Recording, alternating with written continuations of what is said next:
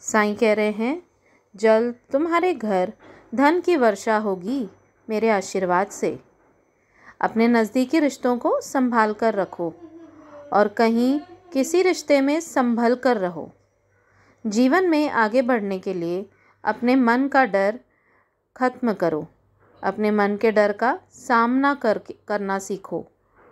उसको पार करोगे, तभी तो जीवन में आगे बढ़ोगे।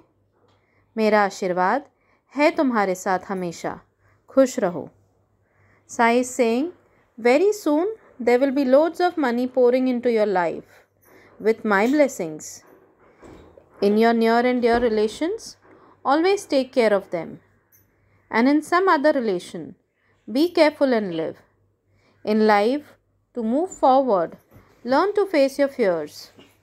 Only when you face it will you be able to cross it and move ahead. Overcome it and move ahead. My blessings are with you always. Stay blessed.